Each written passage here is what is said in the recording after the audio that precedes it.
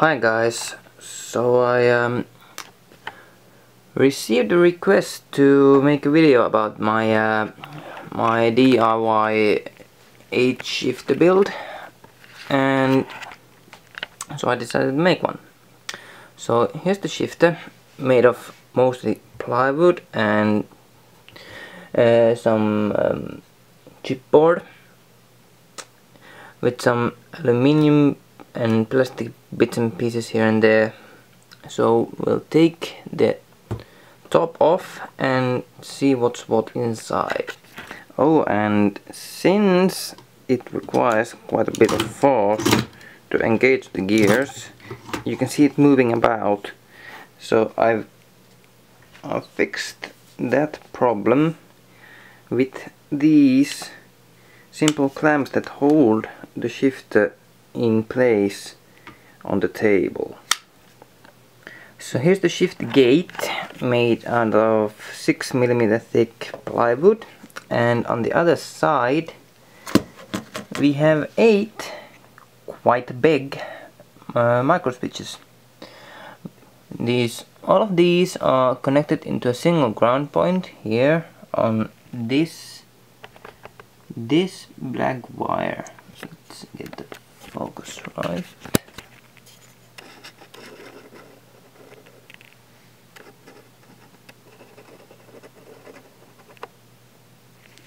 That black wire on this Chinese knockoff Arduino Nano. And the rest of these red wires are connected to an individual digital input pin on the Arduino.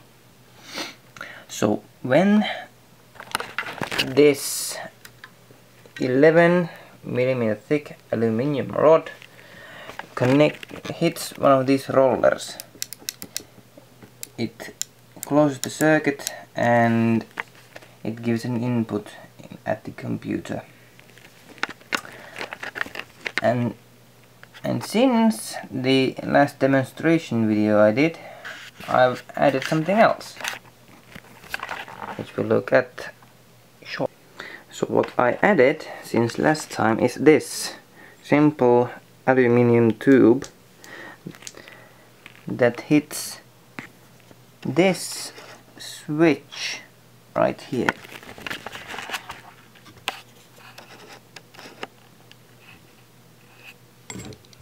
pull it and using these elastic bands I stop it from falling too much forward. It gives right here and handy and it's quite light to use. And it return it's it also acts as a return spring for the handbrake lever. And I connected the uh, the push button with two wires each and it goes into its separate ground wire here and another input wire here. And here is the method how I made the gear to stay in place. It's this white crude rock rocking system. And it has two of these roller clamps at each end and they hold the gear in place. Another method would have been to have these roller clamps in place of the micro switches here but that would have required me to have this actual gear lever to be of a material of a material that um, how do I say this um, conducts electricity but since this is alum aluminum and there's this aluminium oxide layer on top it doesn't conduct electricity how it should. So I should have put this as a steel rod. I could have done get rid of this roller completely and use these in place of the micro switches and put a ground wire on this lever. So when I put it in gear it closes the circuit between the between the rod and the clamp itself, closes the circuit and then makes makes the computer think hey there's a button pressed down I need to change gear. So next we are gonna have a look at the code and see what it does and how the thing works. Right so here is the code I used for the shifter.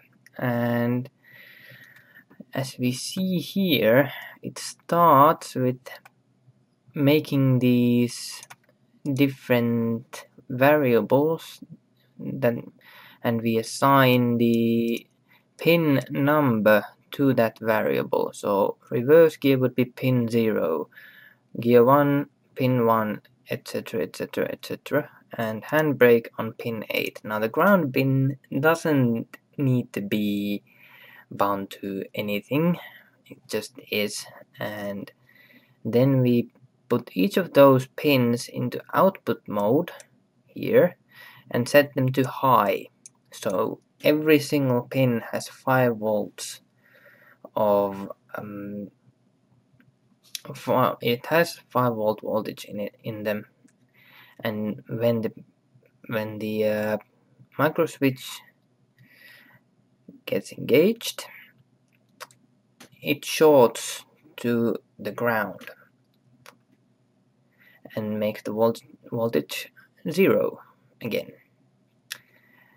And he, as you can see here the, the zero means the pin has been shorted to ground causing a drop in voltage on that pin so it reads the pin and if it's shorted to the ground it then sends a key press to hold zero on the keyboard and it's gonna be the uh, keys on top of the keyboard, not the uh, numpad.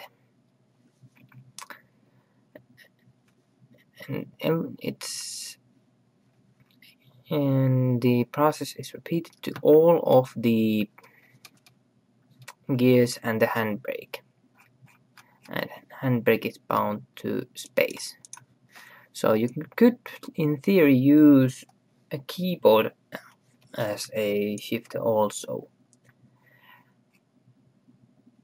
and at this point I should thank the Hackaday forums and and the uh, Steam user named Bob Radar has also made a guide on Steam on how to make this this sort of H shifter. I shall put the links in the video description for you.